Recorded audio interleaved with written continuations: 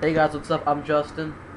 I'm Richard. And guys, what's going on? Um, Rivalry Baseball Blogs. Guys, we got a couple of videos we want to post tonight. Um, coming up tomorrow, we're going to finish up our, we're going to try to do some Prime 9 videos. Tomorrow, we're hoping to get to first baseman, second baseman, and possibly on Wednesday, it's going to be shortstop and third.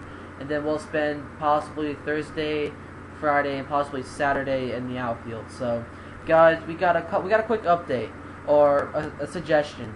Is Jair Jurrjens ever gonna be a Brave after this season or at the trade deadline? Richard, this guy has been on the DL a whole bunch over the past two years. Is this guy losing his talent? Uh, yeah, well, I wouldn't say losing his talent, but he's uh, definitely, uh, I don't know, uh, losing confidence or something because he has just declined a lot. Uh, in, um, yeah, 2009, he had like a 14-10 record with a uh, ERA of 2.60, 14-10 record, sorry, with a 2.60 ERA. And last year he hit the DL again, like you said, posting a 7-6 record with a 4.64 ERA.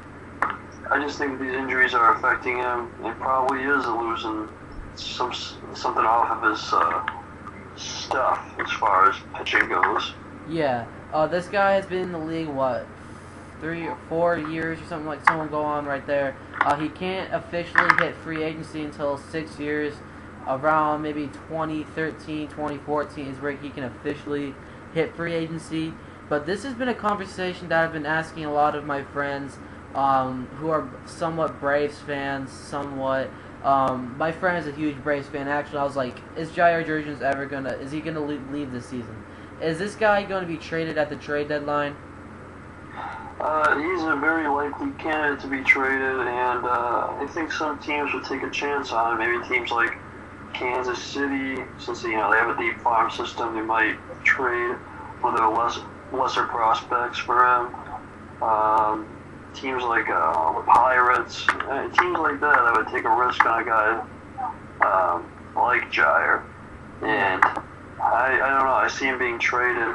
If not, uh, I can definitely see him gone after this. Uh, I can definitely see him gone sometimes soon, maybe in the off season. Yeah, this guy is back on the disabled list. He's projected to be reactivated. I think April fifteenth. Um, this guy has just been through like struggles his past two seasons. Last year, his season ended.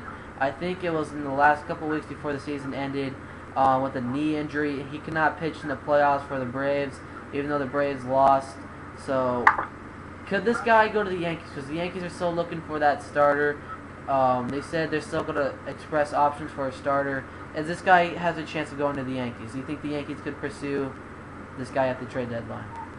Uh, it's definitely not ruled out. I mean, the Yankees are an interesting case, maybe, but uh, I don't know. I, I, I doubt it. I guess. Uh, I, I mean, like it is a possibility, but I don't really see it happening. Uh, yeah, uh, I don't know. It's interesting because Jair Jurrjens would be a good fit for the Yankees, being like their fifth starter over Freddie Garcia. So I guess you could add them into the mix too.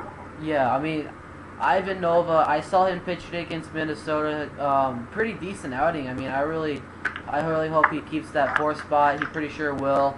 Um, but Freddie Garcia, Bartolo Colon made a debut, made his uh, Yankee debut um, against the Tigers yesterday. He did not have a good outing. Even though it's the, his first start of the season, he probably could rebound.